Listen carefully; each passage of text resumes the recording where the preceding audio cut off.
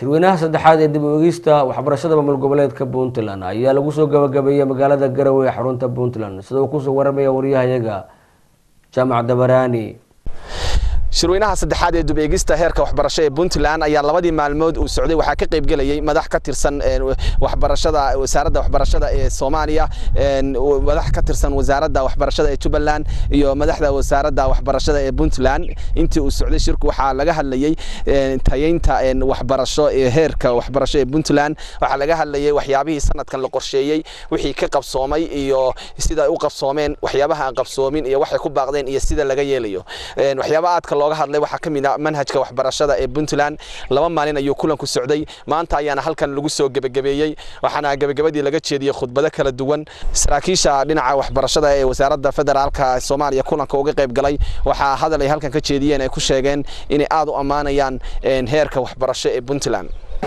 Siyaasadda waxbarashada siyaasadda macallinka siyaasadda maaragtay maaragtay standardizationka iskuullada waxyaalahaas hore inay yihiin.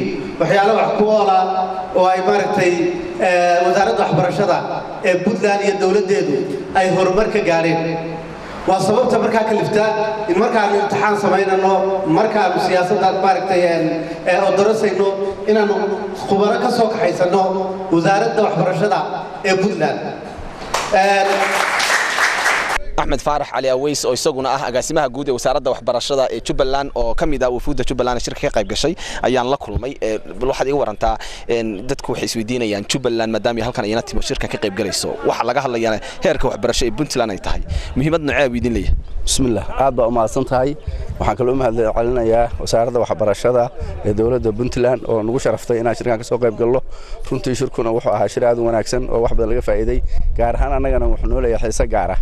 Halkan markii koowaad aan nimaadno ma aha hadda horumar baan nimi cilmi badan iyo caqli badan baanu ka helay iyo dukumenti badan. Hadda maantana waxaanu runtii ka helay wax aad iyo aad u fara badan oo runtii lagu dayi karo. Waxaanu rajaynaynaa inaanu ku dabaqno waxaanu halkan ka baranno ka aragnay iyo waxqabadka halkan iyo sidii loo diyaariyo documentation-ka inaanu ka faa'iidaysano ayaanu aad u danaynaynaa dhacna doonta haddii ilaah idmo.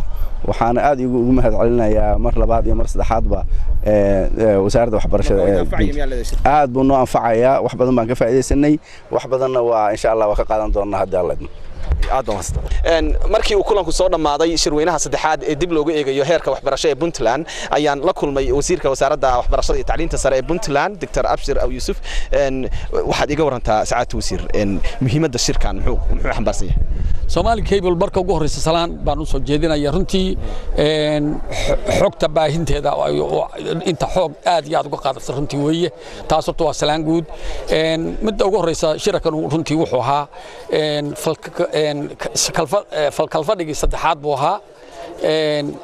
Oo lagu eegayo dib u eegidda loo eegayo hannaanka waxbarasho ee puntland. Sanadka dhoweyd baa la qorsheeyey in nidaamo la soo saaray marka runtii nidaamkiiba wax la eegaya la soo saaray wax lagu wadi lahaa baa la eegaya maxaa qabsoomay? Maxaan qabsoomin? Muxuu qabsoomi waayey? Dabadeedna xal loo raadiyo horta shirtu afartaa afartaa qaybood buu ahaa. Runtiina waad arkayseen galabta afartiiba waa laisla taagay. Wixii qabsoomay dayagu waaba qabsoomeen. Wixii aan qabsoonin waxu dhibnaayeen oo dhan baa la toosiyey. Haddaan wax kaga soo qaado saddex qaybood oo keliya ka soo qaado. Qaybta goobad waxa weeye xagga siyaasadda lagu hagaayo hannaanka waxbarashada. Oo runtii aad iyo aad u fiicnaan laakiin meelo wax ka dhindhinaayeen meelihii waa taad arkaysono maanta aad iyo aad baa loo toosiyey. Talooyin baa laga keenay. Marka waxaan rabnaa sanadka soo socda 2017ka in halkaas aanu intaanu hagaajinno uu markaa hirgalo kow. Qodobka labaad waxaa baahinta waxbarashada oo ahayd runtii in miyi iyo magaalaba la gaarsiiyo iskuullo badan la dhiso meelaha maqan oo sida maaragtay baahiyaha gaarka waxbarashada dadka waaweyn farsamooyinka hawlaha ka maqan waxbarashada reer guuraaga alaabtaa naga maqan oo dhan in lagu soo daro tii hore ay baahidu u fiicanto. Qaybta saddexaad la isdul taagay waxay tayada waxbarashada oo runtii afar qodob oo waaweyn ku taagnayd oo maanta iyadana la isdul taagay oo ah manhajka. Waataad ogeedo manhajka intaan xoogaa midaynay ayaa weliba waxaa naga maqan buwaagtii kutubtii aan weli la qorin. Marka dugsiyada hoose dhexe iyo sare insha allah inaanu qaadanno oo sanadkan kutubtii qorro oo ardada kutubtii farta ka saaro qodobkaas qodob buu ahaa oo kutub xaggeeda ah. Midda labaad oo manhajka xaggiisa ah. Midda labaad wuxuu ahaa macallimiintii dhigi lahayd oo aan macallimiinta tababarkooda markii la eegay ma ma dhammaystira. Marka inta ka dhibanna in sanadka lagu daro qaybta saddexaad waxay ahayd kormeerada oo kormeerka joogto awal joogto maahayn runtii laakiin kormeerka waxaan rabnaa in joogto laga dhigo si tayada waxbarashada ay isu taagto. Qaybta ugu dambaysaana runtii waxay ahayd waxay ahayd in lagu daro xagga imtixaanka oo imtixaankaas runtii wuxuu ahaa kii aad iyo aad wax noo taray oo tayada waxbarashada runtii aad kor u qaaday. Marka isaguna waxyaalo badan buu u baahbaahnaa talooyin.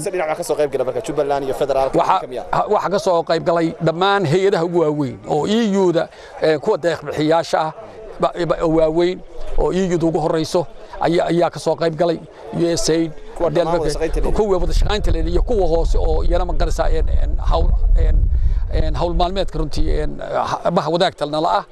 Dhammaanteed hay'adu waa ka soo wada qayb galeen runtii aad iyo aad talooyinkooda ka dhiibteen way daawadeen sidii wax u qabsoomeen sabab waxay tahay de waxa ugu waaweyn runtii oo wasaaradda waxbarashada garab siiya weeye marka runtii aad iyo aad aad iyo aad bay ugu farxeen shirweynaha saddexaad waa kalfadhigii saddexaad ee dib loogu eegayo heerka waxbarasho ee puntland. Muhiimaddu waa in la sii tayayo oo la sii kordhiyo marba marka ka dambaysa. Jaamac deberaani somaali cable t v garowe